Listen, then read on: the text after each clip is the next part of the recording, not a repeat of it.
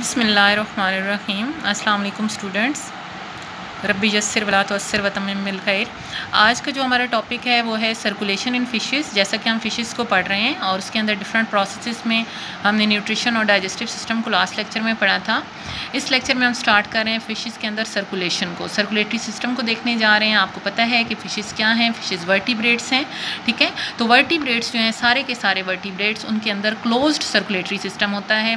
आपको बहुत अच्छी तरह पता है कि क्लोज सर्कुलेटरी सिस्टम कौन सा होता है? क्लोज्ड और दो तरह के सर्कुलेटरी सिस्टम होते हैं। एक होता है ओपन सर्कुलेटरी सिस्टम और एक होता है close circulatory system open circulatory system के अंदर किसी किस्म के कोई ब्लड वेसल्स जो नहीं मौजूद नहीं होते पंपिंग ऑर्गन मौजूद नहीं होता, बल्कि वहाँ पर डायरेक्टली जो ब्लड है वो बात कर रहा होता है टिश्यूज़ को, ठीक है? ओपन स्पेसिस में। साइनसिस को बात कर रहा होता है। लेकिन जो क्लोज्ड सर्कुलेटरी सिस्टम है, इसमें ब्लड वेसल्स मौजूद होते हैं, इसमें ब्लड पंपिंग ऑर्गन मौजूद होता है, ठीक है? और उसके ज़रिए डिफरेंट जो ऑर्गन्स होते हैं, वहाँ तक ब्लड पहुँचता है। तो फिशेज़ के अंदर भी बाकी वर्टिब्रेट्स की तरह क्लोज्ड सर्कुलेटरी सिस्टम जो है वो मौजूद होता है। और इसमें जो ब्लड है, उसमें ज़ाहिर सी बात है ब्लड के अंदर मौजूद सेल्स होते हैं, जो कि जैसे कि उनमें से एक टाइप जो है ब्लड सेल्स की रेड ब्लड सेल्स उनके पास हीमोग्लोबिन होता है। हीमोग्लोबिन ऑक्सीजन कैरिंग कैपेसिटी रखता है और ऑक्सीजन को कैरी करता है, ठीक है? और बहुत से ब्लड वेसल्स अब ब्लड वेसल्स का अगर हमने ज़िक्र किया है तो ब्लड वेसल्स की आपको पता है तीन टाइप्स हैं मेनली वर्टिब्रेट्स के अंदर आर्टरीज कैपलरीज एंड वेंस ठीक है? अब जहाँ तक फ़िशेज़ की बात है तो जब हम उनकी रेस्पायरेशन की बात करते हैं तो वहाँ पर हमने बात की थी कि उनके अंदर गिल्स मौजूद होते हैं, ठीक है? तो गिल्स ही इन्वॉल्व होते हैं, क्योंकि रेस्पायरेटरी सिस्टम और सर्कुलेटरी सिस्टम आपस में कोऑर्डिनेटेड होते हैं। लेकिन लेकिन फ़िशेज़ के अंदर गिल्स के बाद जो है, वो एवोल्यूशन हुई और लंग्स की एवोल्यूशन हुई। तो जब लंग्स की एवोल्यूशन हुई फ़िशेज़ के अंदर तो लंग्स के आने के बाद फ़िशेज़ का जो सर्कुलेटरी सिस्टम है, इसके अंदर भी काफ़ी सारी चेंजेस आई। ठीक है ना? पैरल था ये दोनों प्रोसेस के। उनके अंदर लंग्स को इवॉल्व होना और साथ ही उनके सर्कुलेटरी सिस्टम के अंदर डिफरेंट जो वो चेंजेस हैं, उनका आना। तो ये चेंजेस जो हैं, वो कौन कौन सी चेंजेस थी? लंग्स के एवोल्यूशन के साथ साथ जो चेंजेस आई थी, उसमें यह था कि गिल्स का लॉस ठीक है समटाइम्स फिशेज़ में गिल्स मौजूद भी रहते हैं और साथ में लंग्स भी होते हैं तो ऑक्सीजनेशन जो है वो ऑक्सीजनेशन जो रूट होता है ब्लड का, वो लंग्स की तरफ़ होता है। इसके अलावा ज़ाहिर सी बात है लॉस ऑफ़ गिल्स के बाद जब गिल्स नहीं है तो डिलीवरी ऑफ़ ब्लड कहाँ पर हो रही है? Two lungs then separation of oxygenated blood in heart oxygenated और डी ब्लड की सेपरेशन हो जाना, ठीक है?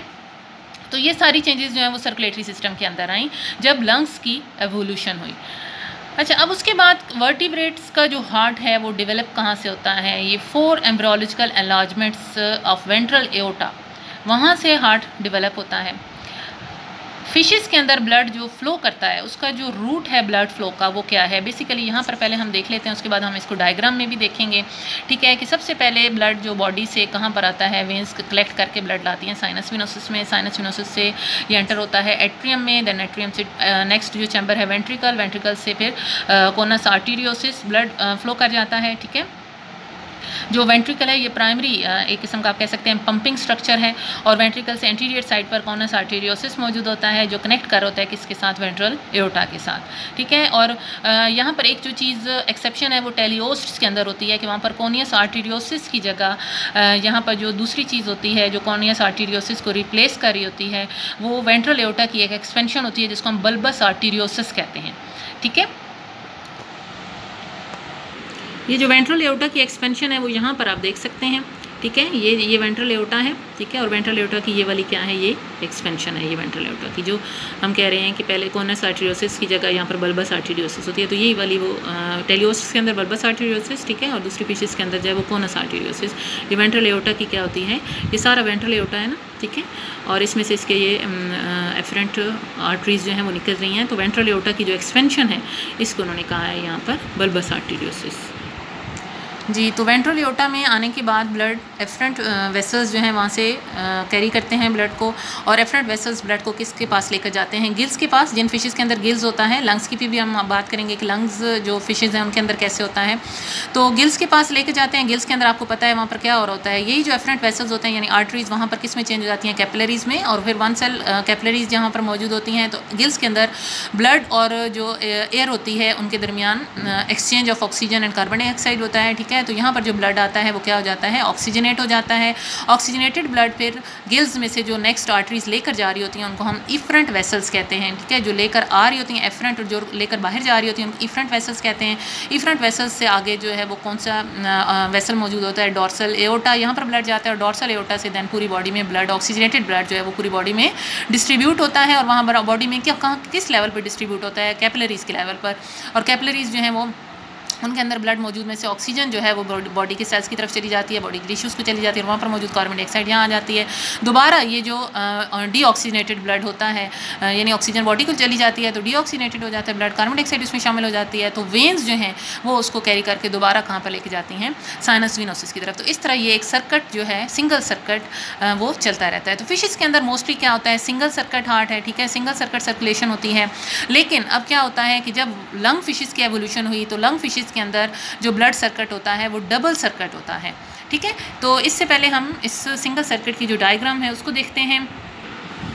ये आपको सिंगल सर्किट की डायग्राम जो है नज़र आ रही है, ठीक है? जैसे हमने पहले बात की कि ये वेंट्रल एओटा है, यहाँ से वेंट्रल एओटा में ब्लड आया और वेंट्रल एओटा से ब्लड इन एफरेंट वेसल्स के ज़रिए जा रहा है। यहाँ पर ये गिल्स हैं, ठीक है? गिल्स में जाता है और गिल्स में कैपलरीज में डिवाइड हो जाती हैं ये वेसल्स और फिर उसके बाद कैपलरीज के ज़रिए ऑक्सीजनेशन होती है ऑक्सीजन जो है उसका एक्सचेंज होता है और कार्बन डाइऑक्साइड का और उसके बाद जो इफ्रंट वेसल्स हैं इफ्रंट ब्रेंकियल आर्टरीज ये वाली ठीक है, ये गिल्स में से उस ऑक्सीजनेटेड ब्लड को कैरी करके लेकर जाती हैं किसमें? मेन जो वेसल है डॉर्सल एओटा मेन आर्टरी जो है डॉर्सल एओटा ये फिर आर्टरी मज़ीद आगे क्या करती है? बॉडी में ब्लड को ट्रांसपोर्ट करती है, ठीक है?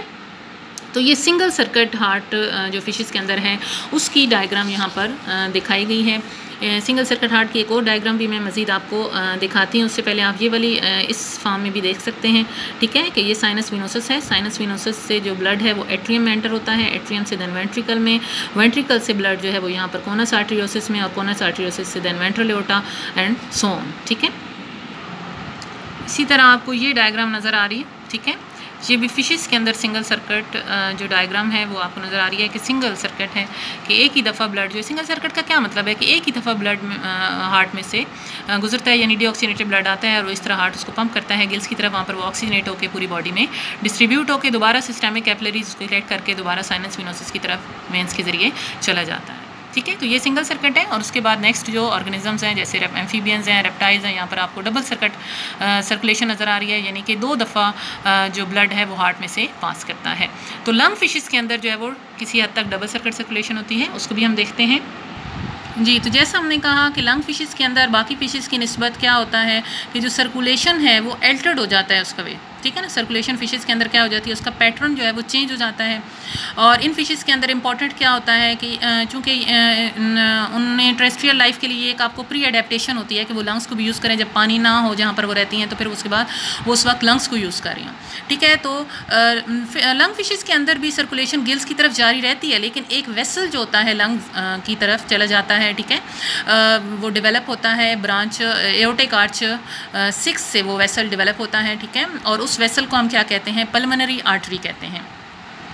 ये पल्मनरी आर्टरी ब्लड जो है, वो लंग्स की तरफ़ लेकर जाती है, ठीक है? और फिर उसके बाद लंग्स से ब्लड वापस आता है किसके ज़रिए? पल्मनरी वेन के ज़रिए। और कहाँ पर वापस आता है? हार्ट के अंदर वापस आता है। ठीक है left side of the heart enter हो जाता है। एट्रियम इनके लंग फिशेज जो हैं इनका एट्रियम और जो इनका वेंट्रिकल um, होता है हार्ट का वो पार्शली डिवाइडेड होते हैं। इस पार्शली डिवाइडेड डिवीज़न का क्या फ़ायदा होता है कि लेक्स ऑक्सीजनेटेड ब्लड जो है वो ऑक्सीजनेटेड ब्लड um, से सेपरेट रहता है।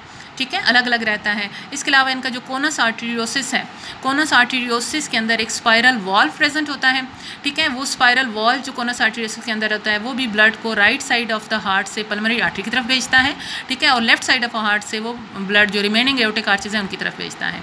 इसलिए ये जो लंग फिशेज़ हैं, वो एक डिस्टिंक्शन दिखाती हैं between a pulmonary circuit and a systemic circuit diagram के ज़रिए हम देखते हैं इसको। इस डायग्राम में आप लोग देख सकते हैं, ठीक है? कि यहाँ पर जो ये वाला ठीक है? कि पलमनरी वेंस भी यहाँ पर आपको नज़र आ रही हैं, ठीक है? दूसरी साइड पे पलमनरी आर्टरी भी होगी।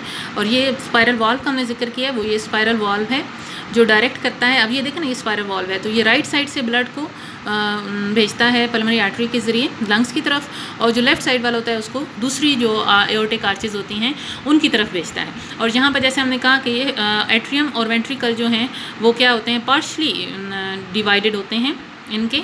तो यहाँ पर ये वेंट्रिकुलर सेप्टम भी नज़र आ रहा है, जो कि पार्शल ऑक्सीजनेटेड और लेस ऑक्सीजनेटेड ब्लड जो है, उसको क्या करता है सेपरेट रखता है। ठीक है? और ये आपको पल्मनरी आर्टरीज इस डायग्राम में नज़र आएँगी। ठीक है? कि जो एओटिक आर्च सिक्स जो है, इससे वो ओरिजिनेट कर रही होती हैं डेवलप कर रही होती हैं, और ये कहाँ पर जा रही होती हैं? लंग्स की तरफ़। ठीक है? पल्मरी आर्टरीज ब्लड लेकर कहाँ जा रही होती हैं? लंग्स की तरफ़ लेकर जा रही होती हैं। ये लेटरल व्यू जो है, उसका नज़र आ रहा है आपको सर्कुलेटरी सिस्टम का। होप्सो आपको ये क्लियर हो गया होगा।